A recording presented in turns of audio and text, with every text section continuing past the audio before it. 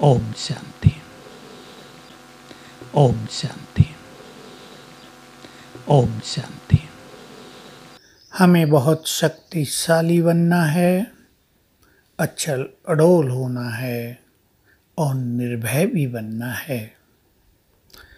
जैसे जैसे समय आगे बढ़ता जाएगा, इस धरती पर संपूर्ण विश्व में भय का माहौल ज़्यादा पैदा होगा।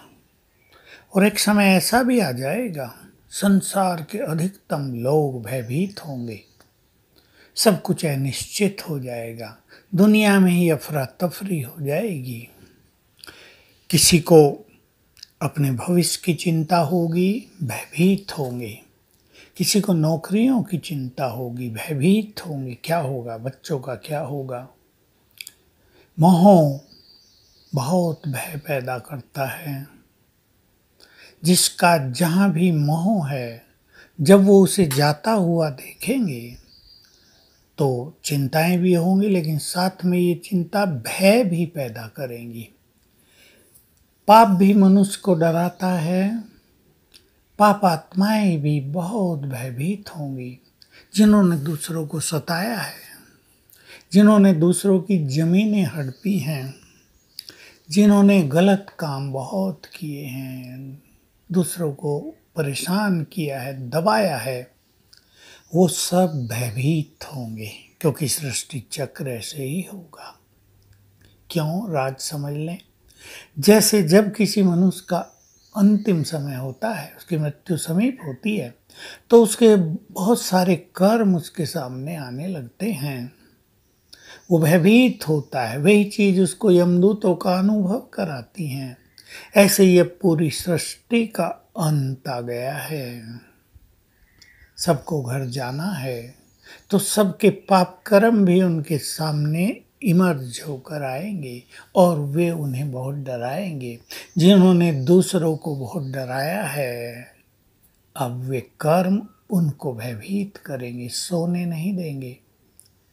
इसलिए हमें निर्भय बनने की ज़रूरत है पुण्य आत्मा बनने की ज़रूरत है।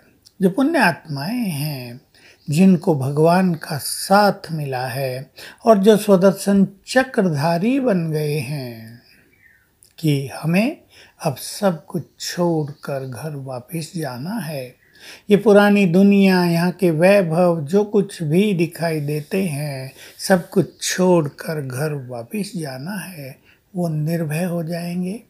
देह से भी मोह निकल जाएगा क्योंकि मृत्यु उनके लिए एक वस्त्र उतारने के समान होगी। वो खुशी खुशी से मृत्यु का वर्ण करेंगे। तो हम सभी अपने को निर्भय बनाते चलें। हम सृष्टि के पूर्वज हैं। कल्प वृक्ष के आधार हैं। हमारी हर स्थिति का असर संसार तक जाता है। यदि हम भयभीत होंगे, यदि हम भय में जी रहे होंगे तो संसार के अनेक लोग भय में जीने लगेंगे। सोचो, कोई इस देवी भयभीत हो तो उसके जितने भक्त हैं, वो भी तो भयभीत हो जाएँगे ना? कोई राजा भयभीत हो तो उसकी समस्त प्रजा भी भयभीत हो जाएगी। तो हम भी ऐसे जिम्मेदार हैं, हमें अपने को निर्भय बनाना है बहुत शक्तिशाली बनाना है। भटकती आत्माओं का भी भय हमें ना हो, क्योंकि उन सबसे बहुत अधिक पावरफुल हम हैं। उन सभी के मास्टर मुक्तिदाता भी हम हैं। उनको शांति देने वाले, घर वापस भेजने वाले हम हैं। इसलिए हमें उनसे डरने की ज़रूरत नहीं।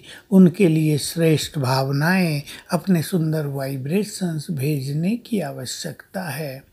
तो हम अपनी शक्तियों को पहचानें, अपनी शक्तियों को जागृत करें। हम बहुत शक्तिशाली हैं, सर्वशक्तिवान के बच्चे बहुत शक्तिशाली हैं। उन्होंने हमारे सिर पर अपना हाथ रख कर हमें शक्तियाँ प्रदान कर दी हैं ब्लेसिंग्स दे दी हैं। हम उनकी छत्र छाया में भी सुरक्षित हैं, निर्भय हैं। रही बात आपके बच्चों की, आपके परिवार की आप स्वयं सबके लिए छत्र छाया बन जाओ। आप उनके लिए मास्टर रक्षक बन जाओ। अगर आप बहुत शक्तिशाली होंगे और लंबे समय से इस स्वमान का अभ्यास किया होगा कि मैं मास्टर विश्व रक्षक हूँ तो आप अपने परिवार के लिए भी रक्षक बन जाएँगे। तो आइए हम बहुत पावरफुल बने, निर्भय बने, भय के किसी भी संस्कार को अंतर मन से निकाल दें। तो आप सबको बहुत बहुत थैंक्स ओम शांति।